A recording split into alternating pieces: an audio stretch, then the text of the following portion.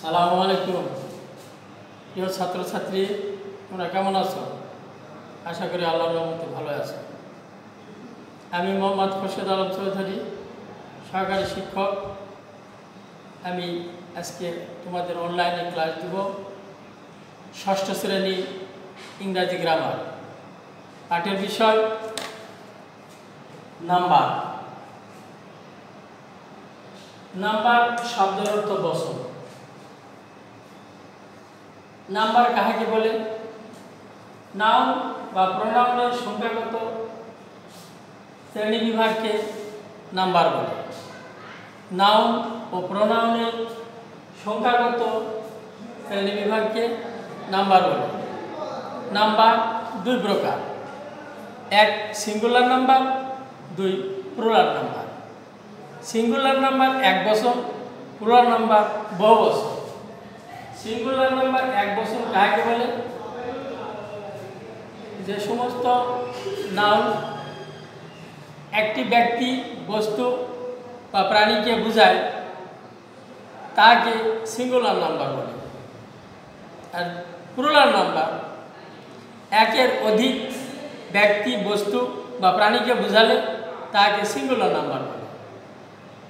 আমরা আজকে এই নাউন সিঙ্গুলার নাম্বার থেকে প্লুরাল নাম্বার করার নিয়ম আজকে তোমাদেরকে শিখাবো। সিঙ্গুলার নাম্বার থেকে প্লুরাল নাম্বার করতে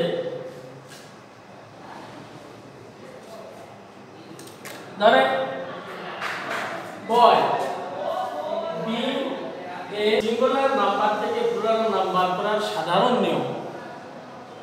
নাউন এর শেষে এস যুক্ত করে প্লুরাল করতে হয়। Boy, boys. B O B A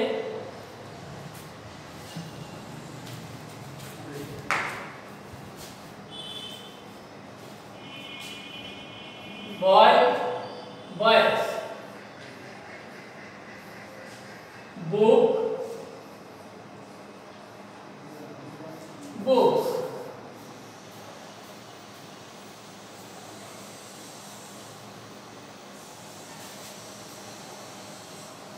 Hen, hens. সাধারণত নাউন এর শেষে এস যুক্ত করে সিঙ্গুলার নাম্বার থেকে প্লুরাল নাম্বার করা হয়। তাহলে এখানে আমি লিখেছি এখানে লিখেছি কি? Boy boys book books hen hens. একটি বালক বহু বালক একটি বুক অনেকগুলো বই একটি মুরগি, অনেকগুলো মুরগি। একের অধিক। একের অধিক হবে। সিঙ্গুলার থেকে প্লুরাল হলে একের অধিক হবে। দুই নম্বর নিয়ম দেখো।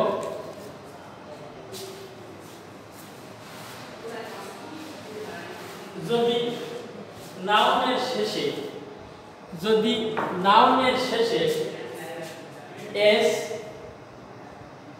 SH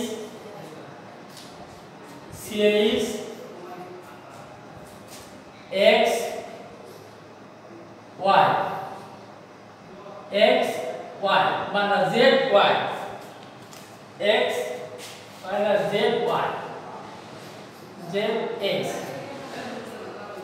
নাউনের শেষে যদি এস এসএইচ সিএইচ জে বা এক্স থাকে, তাহলে সিঙ্গুলার নাম্বার করা নিয়ম কি? সিঙ্গুলার নাম্বার করা নিয়ম, যদি নাউনের শেষে এস থাকে, বা এসএইচ থাকে, বা সিএইচ থাকে, বা জেড থাকে, বা এক্স থাকে, তাহলে কীভাবে আমরা প্লুরাল করব? কীভাবে আমরা প্লুরাল নাম্বার করব?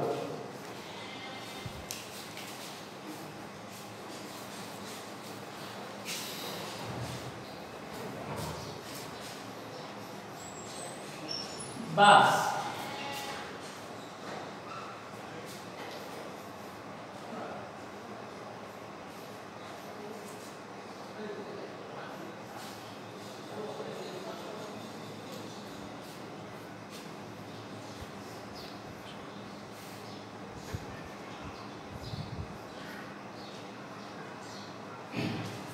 সিঙ্গুলার নাম্বারের শেষে যদি এস থাকে তাহলে প্লুরাল করতে এই সিঙ্গুলার নাম্বারের শেষে ইয়েস যুক্ত করে প্লুরাল করতে হবে। ইয়েস যুক্ত করে প্লুরাল করতে হবে। বাস মানে যানবাহন বাস যাকে বলা হয়।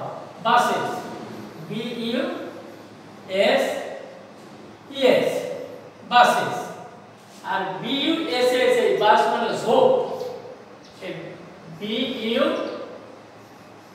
S H ES bushes bench bench মানে বসার আসন।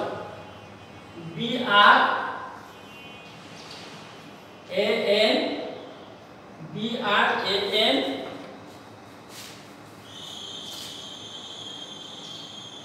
A N C H ES benches fox আমরা দেখেছি এক্স যদি থাকে, তাহলে foxes F O X ES foxes তাহলে দুই নাম্বার নিয়ম আমরা কি শিখলাম?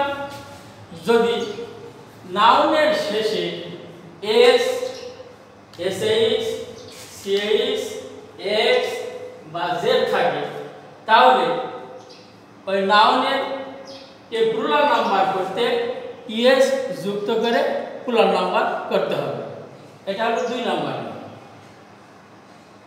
তাহলে প্রথমে এক নম্বরের নিয়ম আমরা শিখলাম কি?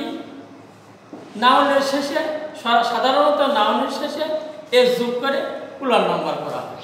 দুই নম্বর নিয়ম, নাউনের শেষে যদি এস এসএইচ সিএইচ এক্স বা জেড থাকে, তাহলে তাদের পূর্বে ওই নাউন বসবে এবং ইয়ে যুক্ত করে প্লুরাল নাম্বার করতে হবে। এবার আসি আমরা তিন নম্বর নিয়ম। এটা দুই নম্বর হলো তিন নম্বর।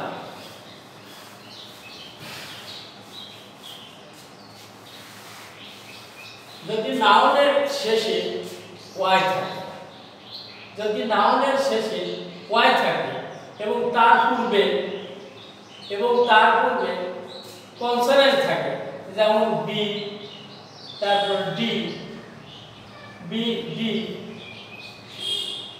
ইত্যাদি। যদি নাউনের শেষে ওয়াই থাকে এবং ওয়াইয়ের পূর্বে কনসোনেন্ট থাকে, তাহলে ওয়াইকে আই বসে ওয়াইয়ের স্থলে আই বসে ইয়ে যুক্ত করে প্রলার করতে হবে। ইয়ে যুক্ত করে প্রলার করতে হবে। উদাহরণ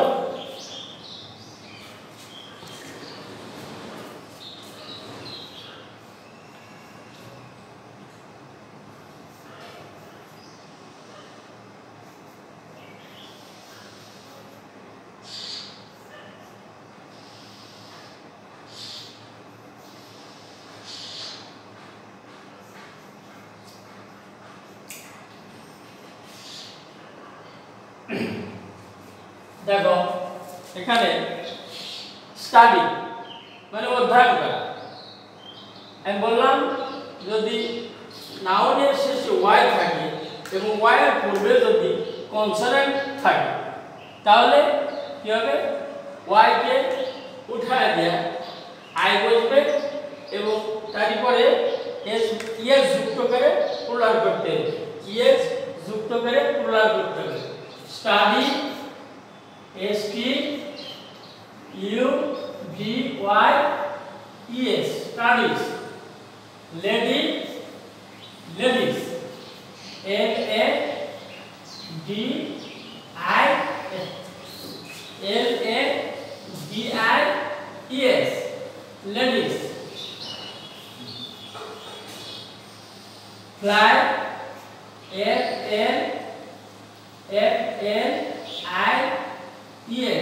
S flies baby, B A, B I E S তাহলে তিন নম্বর নিয়মে সিঙ্গুলার নাম্বার থেকে প্লুরাল নাম্বার করতে যদি নাউনের শেষে ওয়াই থাকে, কি থাকে? ওয়াই থাকে।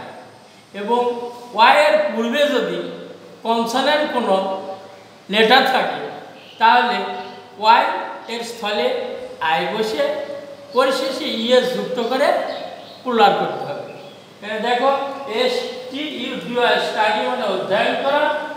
তাহলে ওয়াই হলো, ওয়াই এর পূর্বে ডি হলো কনসোনেন্ট সেই ক্ষেত্রে ওয়াই উঠায় দেয়, আই বসছে তারপরে ইএস যুক্ত করে প্লুরাল করা হয়েছে। Lady L D Y lady মানে ভদ্র মহিলা এই লেডি ওয়াই স্থলে আই ওয়াই আর এই ডি হলো কি? ডি হলো কনসোনেন্ট ডি হলো কনসোনেন্ট তাহলে ওয়াই স্থলে আই বসে ইএস যুক্ত করে ladies L Y fly fly মানে মাসি। ফ্লাই মানে মাসি। তাহলে এখানে এলো কনসোনেন্ট এল কনসোনেন্ট তাহলে বলা হলো কি?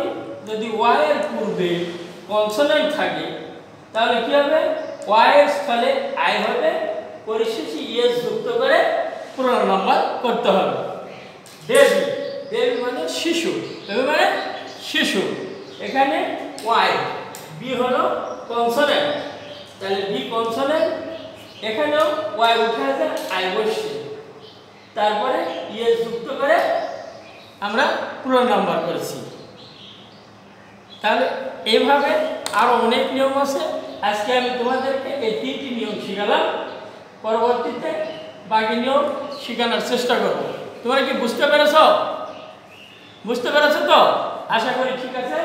পরবর্তীতে আরও নিয়ম তোমাদেরকে শেখানো হবে।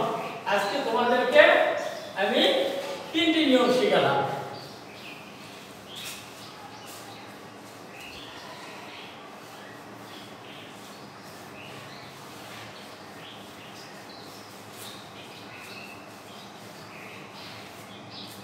ভালো থাকো সবাইকে ধন্যবাদ জানাই।